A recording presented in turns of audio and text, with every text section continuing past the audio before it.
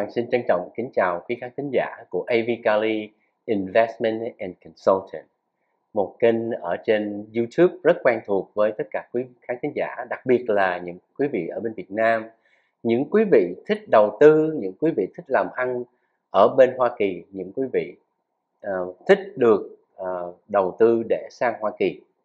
Uh, ngày hôm nay chúng tôi lại quay trở lại một lần nữa và chúng tôi muốn trò chuyện với quý vị à, cuộc trò chuyện ngày hôm nay sẽ là một cuộc trò, cuộc trò chuyện rất là thân mật gần gũi với một người chủ đầu tư mà quý vị đã từng gặp đã từng làm việc đã từng uh, gặp tận mắt ở bên Việt Nam.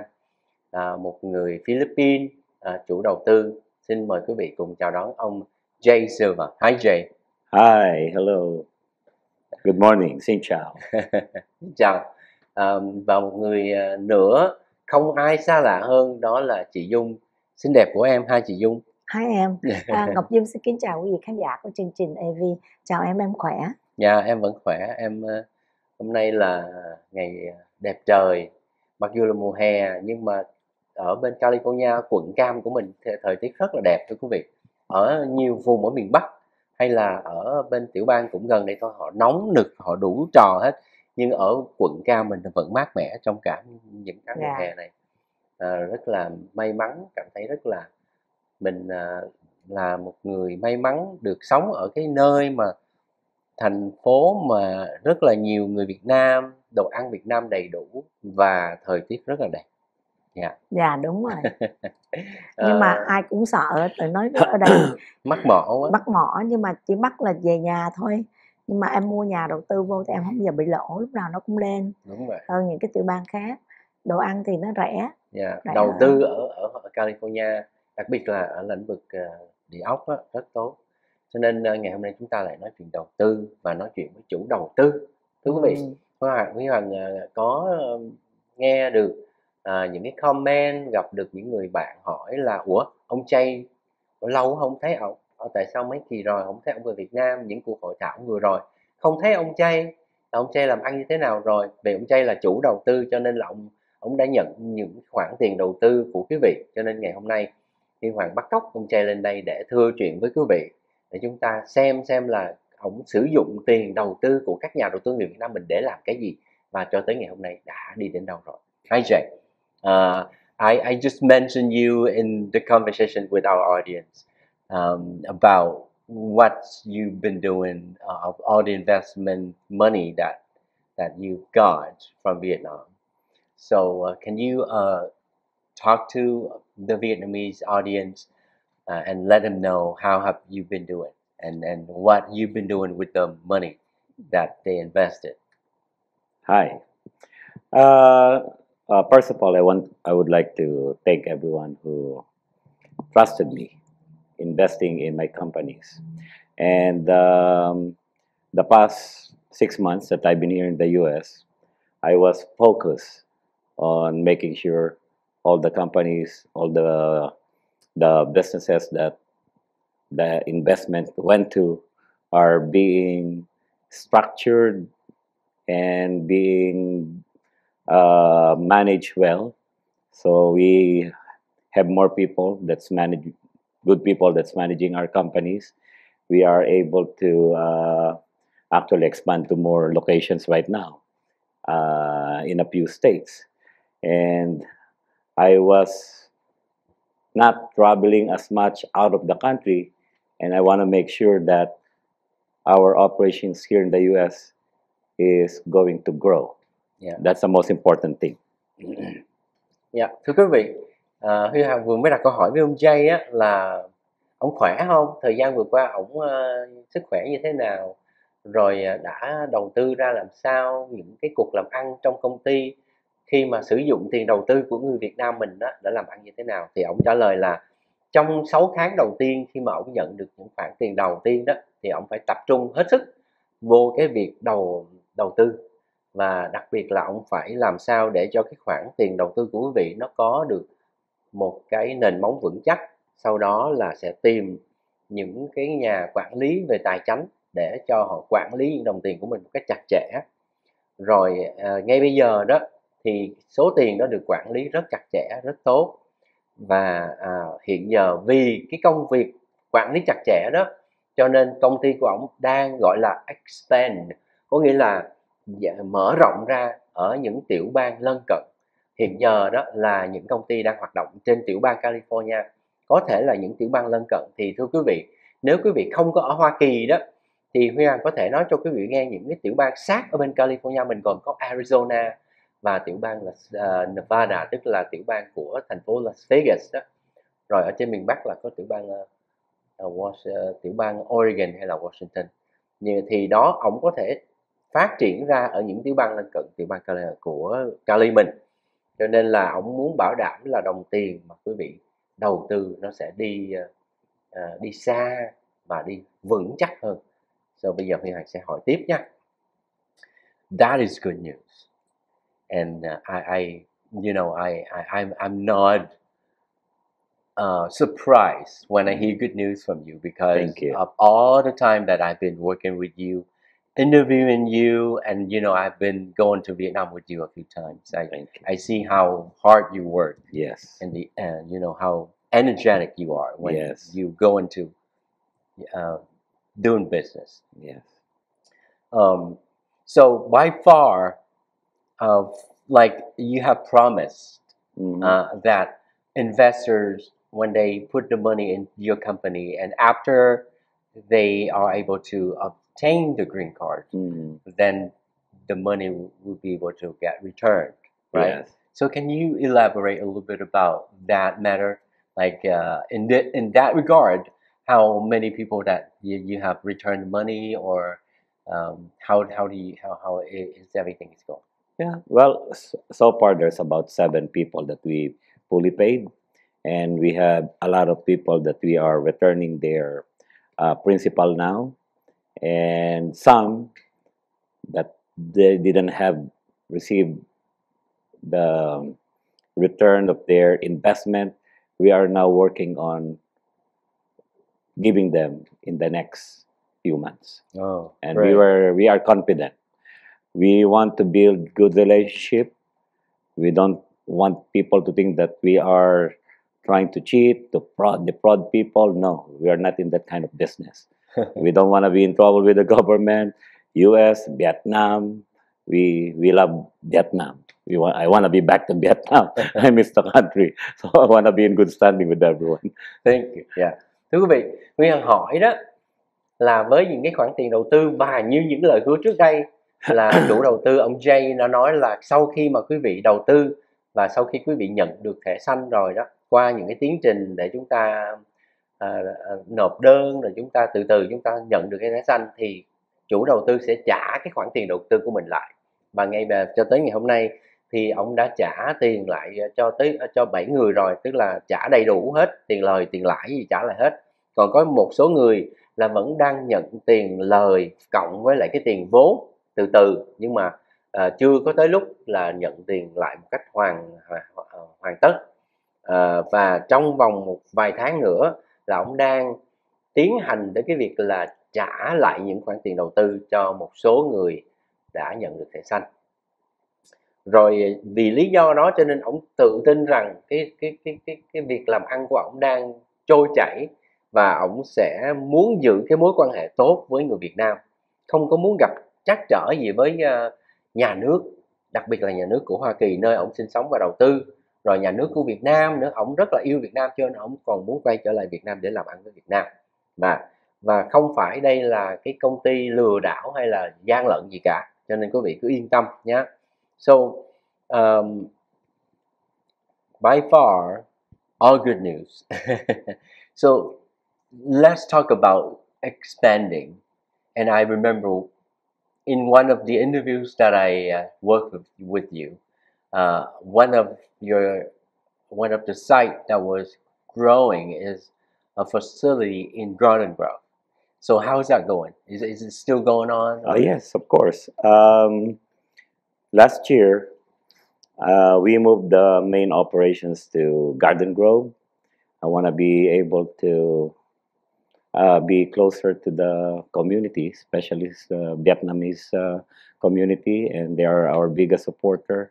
And we want to pay gratitude by uh, servicing mostly people in the community. From when we started from 6,000 square feet of space, we're now occupy, occupying almost a third of the building, which is almost 20,000 square feet now, uh, to include several other healthcare operations. So, and not only that, we are also moving to the Chinatown, where we have a bigger facility that we're developing right now. We're moving to Las Vegas. We have several facilities that we're acquiring. We're not only doing home health care, hospice care. No, we're doing diversified. We have our own laboratory. We have our own clinics, um, medical equipment, um, pharmacy, assisted living, Uh, mini hospitals. So uh, that's how I'm trying to protect the money of the investors by investing it properly. Yeah, thank you. Thưa quý vị, đây là những cái thông tin rất là hữu ích và rất vui à, dựa trên tất cả những cái um, điều mà ông ông Jay vừa mới nói đó thì um, như quý vị đã từng nghe nếu mà quý vị theo dõi tất cả những chương trình mà Huy Hoàng đã phỏng vấn có chị Ngọc Dung cũng như là ông Jay đó quý Hoàng quý vị đã nghe một lần ông nói về cái cơ sở mà ông đang xây dựng ở thành phố Garden Grove là tại vì cái năm ngoái đó ông đã dọn cái cơ sở chính của mình về thành phố Garden Grove nơi mà gần gũi hơn với cộng đồng người Việt Nam. Tại vì cộng đồng người Việt Nam là nơi mà ông à, có thể có được nhiều những cái người hỗ trợ và à, những người ủng hộ ổng nhất luôn và rất là lớn cho nên ổng dời về thành phố gần cái nơi của mình. Vì vậy xây cái cơ sở đó lên để phục vụ cho những người trong cộng đồng người Việt Nam mình. Cái lúc đó đó là cái tòa nhà đó nó rộng khoảng 6.000 square feet là một cái nơi dành cho các cụ cao niên đó. Nhưng mà bây giờ thì ổng lại mở rộng ra và nó lên tới gần tới 20.000 square feet. Thì square feet có nghĩa là một uh, square feet uh, là feet vuông đó quý vị thì um, thì trong đó đó đa số nó sẽ là những cái hoạt động để phục vụ cho ngành y tế à, là viện dưỡng lão hay là những uh, nơi assisted living là những nơi dành cho các cụ cao niên đó. Và không những là đã mở rộng ra ở thành phố Colorado ông còn đang chuyển sang Chinatown nè rồi qua bên Las Vegas hồi nãy quý, quý Hoàng vừa mới nói đó. Rồi um, không những làm ở trong lĩnh vực là nhà để uh, phục vụ các uh, các vị cao niên hay là um, um, uh, văn phòng như thế nữa nhưng mà ông còn mở rộng cái việc làm ăn của mình qua những cái thứ sau đây. Thứ nhất là những cái phòng xét nghiệm gọi là phòng lab đó ha, thử thử máu thử nước tiểu này kia đó nó gọi là phòng xét nghiệm. Rồi qua những cái bệnh xá phục vụ à, rồi đầu tư trong cái việc mua những thiết bị y tế rồi à, những cái nhà thuốc tức là pharmacy đó rồi còn à, vẫn tiếp tục trong lĩnh vực assisting living có nghĩa là những cái nơi dành cho các các vị về hưu hay là những vị cao niên làm như vậy thì ông mới cảm thấy rằng là tiền đầu tư của vị được bảo đảm và được à, gìn giữ một cách cẩn thận và nó càng ngày nó càng gia tăng thêm. Yeah. Thank you so much for all, all your hard work and for choosing Vietnamese community, especially here in in Garden Grove. Yes, I understand. You know, in Garden Grove, it's like the the the city that is adjacent to a lot of Vietnamese community yes cities like Santa Ana, Westminster. Mm.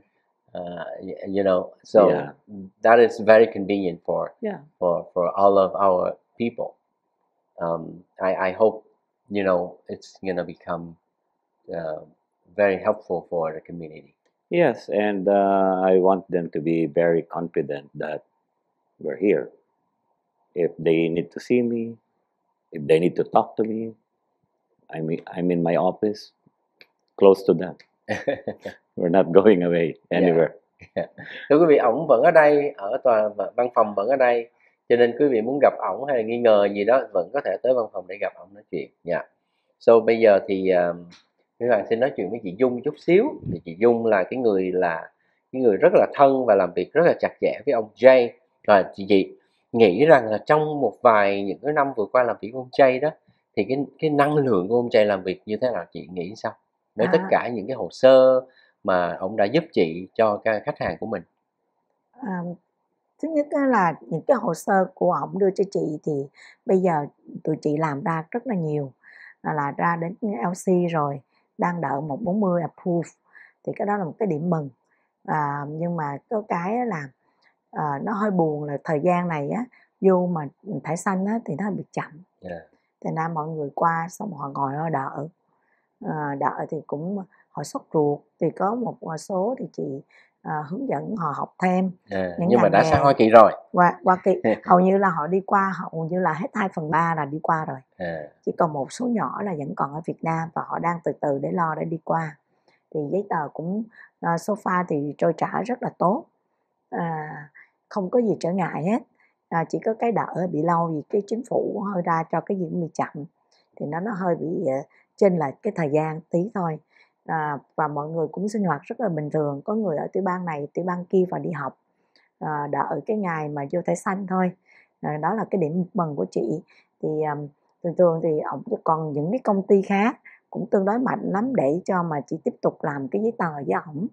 À, thì sofa thì cái năng lượng của Jay rất là mạnh. Ngày nào cũng làm việc hết.